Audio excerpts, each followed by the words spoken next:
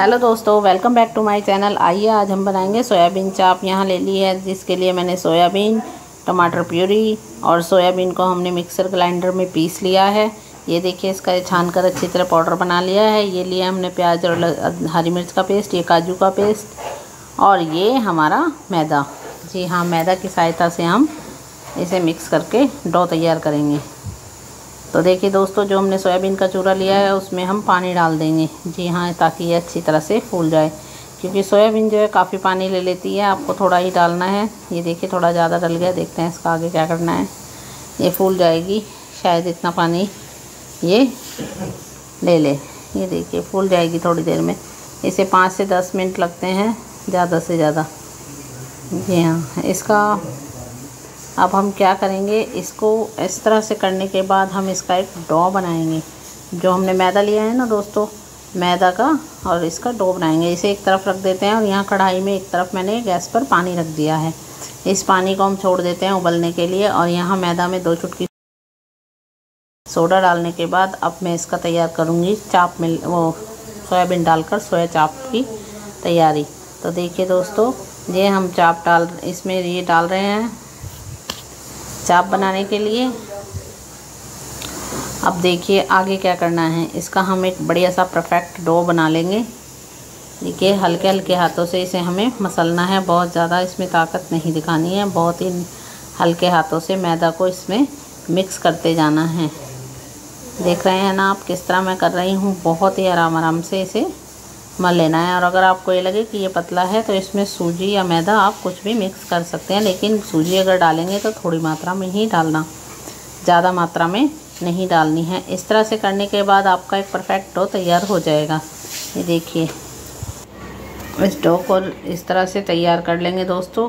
जैसे ही हमारा डो तैयार होगा, आगे हम तैयारी करेंगे अपने चाप बनाने की। जी हाँ इस डो को कम से कम आपको 15 से 20 मिनट दोस्तों रखना पड़ेगा। अब हम लेंगे आगे कुछ चमचियाँ ये देखिए, इसको देख लीजिए सेट हो गया है। यहाँ मैंने कुछ चमचे ले लिए हैं और चम्मच की जो पीछे की डंडी होती है, जहाँ से हम पकड़ते हैं, जी हाँ वहाँ पर हम थोड़ा सा पानी लगाएँगे और इस तरह से देखिए, चाप को बनाएँगे अपने हाथों की सहायता से, इस पर एक रोल तैयार करेंगे, इस तरह से।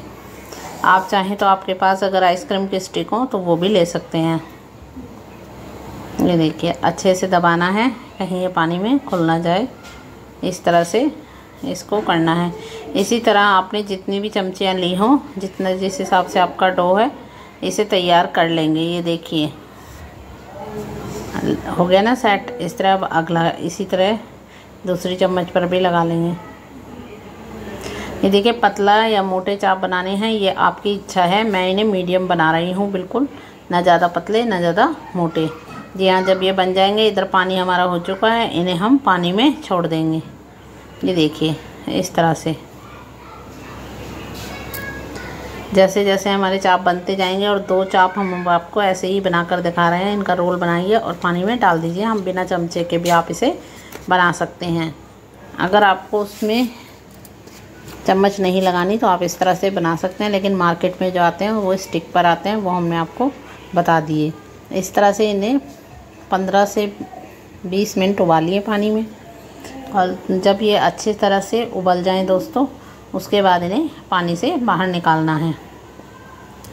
जब तक ये अच्छे से नहीं बन जाए, तब तक इन्हें मत उतारना। उतारने के बाद दोस्तों, करना क्या है? इन्हें एक बर्तन में ट्रांसफ़र कर लेना है। ये देखिए, मैंने भी यहाँ निकाल लिए हैं। जब और फिर उसके बाद इन्हें हम ठंडा करेंगे। ठंडा करने के बाद ही इन्हें हमें निकालना है। जी हाँ मैं भी थोड़ा सा रेस्ट करती हूँ और ठंडा करती हूँ इन्हें। ये देखिए। इस तरह से सारे निकाल लिए हैं मैंने। जितने भी चाप बनाए हैं, अभी मैं निकाल रही हूँ। चिमटे की सहायता से बहुत गर्म है दोस्तों। ध्यान से आपको इस रेसिपी को बनाते हुए बहुत ध्यान पड़ना पड़ेगा, क्योंकि पानी बहुत गर्म है। और जब आप इन चाप को घर में बनाएँगे तो आपके घर वाले खुश हो जाएँगे और चाप बाज़ार से कभी भी भूल कर नहीं लाएँगे। ये देखिए कितने सारे चाप तैयार हो गई है। ये देखिए, इसको अब हम क्या करेंगे? इसको हम उतारेंगे चमचे से। आपको दिखाते हैं, ये थोड़े ठंडे हो चुके हैं। ज़्यादा ठंडे तो नहीं हुए हैं, फिर भी दोस्तों आपके लिए रिस्क ले ही लेते हैं। ये देखिए, इस तरह से आप इसे पुश करेंगे, ये निकल जाएगा। ये देखिए, कितना लचीलापन इसमें आ चुका है। जैसे मार्केट वालों में होता है, सेम वही स्टेज पर इस टाइम हमारे चाप हैं। सारे एक एक करके हमने चमचे से निकाल लिए हैं और अब हम इनकी करेंगे कटिंग। जी हाँ दोस्तों इनकी कटिंग कीजिए। और अगर इसमें निशान नहीं बना है तो आप चाकू की सहायता से निशान भी बना सकते हैं इस तरह से। ये देखिए। वो बन इसलिए गया क्योंकि अंदर वैसे लगा सकते हैं।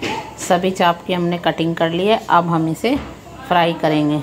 ये देखिए इस तरह से तेल गर्म हो चुका है। अब हम इसमें अपने धीरे धीरे कर कर चाप डाल रहे हैं जो फ्राई करेंगे। जी हाँ चाप को हम हमेशा फ्राई करते हैं तो हम इन्हें भी फ्राई करेंगे। देखिए जैसे और बहुत कम तेल में ये रेसिपी आपकी तैयार हो जाएगी। देखिए हल्के हल्के फ्राई करनी है। बहुत ज़्यादा देर इसमें नहीं लगती है। ये देखिए, अब हम इन्हें अलट पलट करेंगे। ये देखिए गए। इसी के बचे हुए तेल में अब हम देखिए इसे फ्राई करने के बाद जो तेल डल बचा है, उसी में हम अपनी सब्ज़ी का तड़का लगा देंगे। ये देखिए, यहाँ डालेंगे हम इसमें बहुत गर्म तेल है, इसमें हम डाल देंगे प्याज और लहसुन का पेस्ट, जिसमें हमने आधा इंच अदरक का टुकड़ा और दो से चार हरी मिर्च भी ग्राइंड कर ली है। इसीलिए आपको प्याज का कलर इस तरह से दिखाई दे रहा है। अब इस मसाले को अच्छी तरह भूनिए और भूनते भूनते इसमें हम क्या डालेंगे, आपको पता ही है, इसमें हम डाल ऐड करेंगे मसाले। जी हाँ तो आ गए हैं हमारे मसाले। मसालों से पहले हमें डालनी है इसमें टमाटो प्यूरी, ये देखिए। ये डाल दी मैंने। अब इसको हम और घुमाएँगे थोड़ा सा और जब तक ये मसाला हमें तब तक भूनना होता है, जब तक हमारा तेल वापस से ना दिखाई देने लगे, यानी मसाला तेल ना छोड़ दे तो इसमें हम आपको काजू वाला पेस्ट डाल देते हैं। ये काजू पीसने के लिए हमने इसमें दूध का उपयोग किया था। ये देखिए, वो डाल दिया है पेस्ट हमने। किस तरह का कलर हमारी प्योरी का हो चुका है, देख रहे हैं ना, पूरा रेस्टोरेंट स्टाइल है। जी हाँ जो बाज़ार में ग्रेवी होती है, क्योंकि काजू में थोड़ी सी मिठास होती है, इसलिए वो हल्का सा मीठापन भी सब्ज़ी में उनकी आता है। यहाँ मैंने एक टेबल स्पून नमक डाल दिया है। देख देख ही लिया होगा आपने। एक तो एक टीस्पून मैंने इसमें लाल मिर्च ऐड कर दी है। एक टीस्पून इसमें मैंने कश्मीरी लाल मिर्च ऐड की है। और थोड़ी सी हमने इसमें हाफ़ टी स्पून हल्दी, धनिया पाउडर, सभी कुछ आप अपने स्वाद अनुसार मसाले ऐड कर लीजिए और फिर ग्रेवी इसकी अच्छे से पकाइए। देखिए कितनी गाढ़ी ग्रेवी हो रही है। थोड़ी सी हल्दी और डाल देते हैं क्योंकि ज़्यादा वाइट आ रही है सब्ज़ी का कलर ये देखिए, इस तरह से इसे हमें मसाले को अच्छी तरह से भूनना है। यहाँ धनिया पाउडर रह गया था, वो भी डाल दिया, गरम मसाला डाल दिया। गरम मसाला इसमें बहुत थोड़ा डालना है, ज़्यादा इसमें गरम मसाले की ज़रूरत नहीं है। जी हाँ इसमें इलायची पाउडर भी थोड़ा सा मैंने डाल दिया है। ये देखिए, अब मैं ऐड करूँगी इसमें थोड़ा सा दूध। जी हाँ इसके अंदर हम डालेंगे थोड़ा सा दूध दोस्तों, क्योंकि हम ये सब्ज़ी जो बना रहे हैं, यहाँ मैंने डाल दी इसमें एक चम्मच सूजी, जिससे हमारी ग्रेवी होगी पूरी। गाढ़ी अभी तक तो हमारे टमाटर और प्याज का पेस्ट था। अब ये सूजी डाल दिया है हमने, आप चाहें तो बेसन भी डाल सकते हैं, लेकिन मैंने इसमें सूजी ऐड की है, क्योंकि बाज़ार में जो आप ग्रेवी खाते हैं, उसमें सूजी ही होती है। जी हाँ चाहे तो आप कभी महसूस करके देखिएगा, आपको पता लग जाएगा। और अब ऐड करेंगे हम इसमें दूध। जी हाँ दूध बॉईल किया हुआ, ठंडा करके हमें ले है। अब आगे देखिए, इसको हम इस तरह, अच्छी तरह से घुमाएँगे। दूध हमारा फट ना जाए, इसलिए इसे लगातार फटाफट से चलाते जाइए। और हाई फ्लेम पे आपको ये काम करना है। जी हाँ। देख रहे हैं ना दोस्तों, कैसा कलर आपकी ग्रेवी इतनी गाढ़ी हो गई है कि आपको इसमें आप कुछ भी सब्ज़ी डाल दें तो वो उसका टेस्ट अलग ही आएगा। जी हाँ आप इसमें उबले हुए आलू भी डाल सकते हैं। मैंने इसमें एक गिलास भर कर दूध और डाल दिया है। ये देखिए, थोड़े पतली करने के लिए, लेकिन ये फिर भी पतली नहीं हुई। जब ये ग्रेवी हमारी अच्छी तरह पक जाए, इसे हमें बहुत अच्छे से पकाना है। कच्चापन इसमें बिल्कुल नहीं रहना चाहिए, क्योंकि मसाले भी हमने ज़्यादा नहीं डाले हैं दोस्तों, और इसमें कोई भी ऐसी चीज़ नहीं डाली है।